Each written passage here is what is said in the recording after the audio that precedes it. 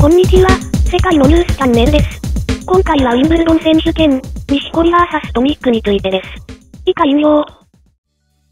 テニス、ウィンブルドン、5日、日本時間6日、ロンドン、男子シングルス2回戦、世界28位の錦織圭、28、日清食品が、4大大会本戦自身最多の24本のサービスエースを叩き込み、芝の難敵に競い合った。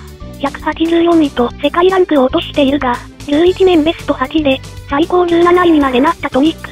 オーストラリア、鬼、6、6、3、7、6、7、この4セットで振り切り3回戦進出だ。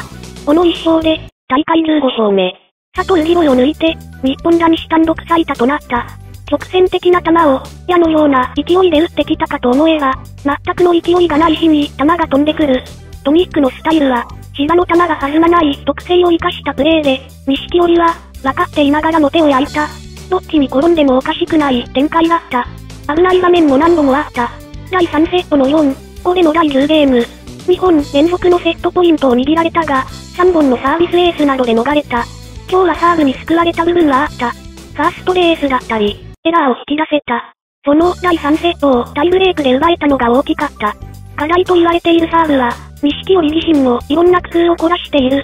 今大会から、第2サーブになった時、ボールボーイから球を受け取るやり方に変えた。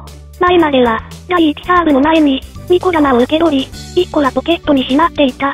変えた理由は、一球一本です。実は、第2サーブで、ボールを受け取るのがめんどくさくなる。だから、なるべくファースト、第1サーブを、を入れたいと思う、のが、正直な理由だ。それだけ、何とか第1サーブを入れようと考え、この日は64%が入り、自身最多の24本のエースにつなげた。次戦は、テニス界のアクローキリオス、オーストラリアが相手だ。対戦成績は錦織の3戦全勝。しかし、今大会、4番目に速い時速222キロのサーブは、芝では脅威だ。何せサーブがすごい。攻略できるかわからないが、自分のサービスゲームをなるべく集中してやらないと勝てない。それには、この日のサーブが必要になる。ご視聴ありがとうございます。毎日、最新ニュースをお届けしますので、チャンネル登録お願いします。